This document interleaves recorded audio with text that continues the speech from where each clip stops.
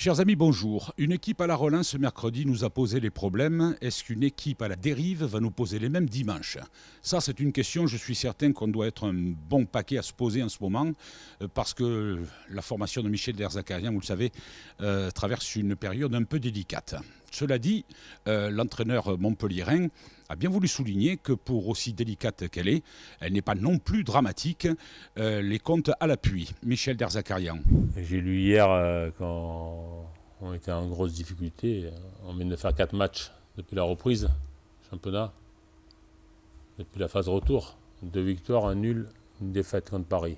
On ne va pas y revenir et je pense qu'on est tous d'accord. euh, ce match nul contre Metz nous a comptablement mis un peu en retard, mais en tout cas, ne nous a pas fait descendre d'une place ou deux au classement. Nous sommes toujours cinquième à l'instant d'affronter les Stéphanois de Claude Puel, qui eux sont beaucoup plus en bas et beaucoup plus soucieux de leur avenir.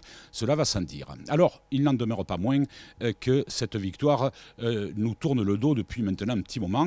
Il ne faudrait pas non plus que le groupe se mette à gamberger. Ce n'est pas un problème mental, ce n'est pas non plus un problème physique. Pour Daniel Congré, il nous a livré son point de vue sur la situation actuelle.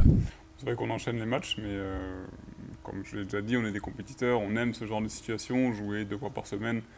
On est, euh, on est fait pour ça. Moi, je suis, euh, moi, je suis content de jouer tous les trois jours, même si ça fait euh, répéter les efforts et, que c'est un peu fatigant.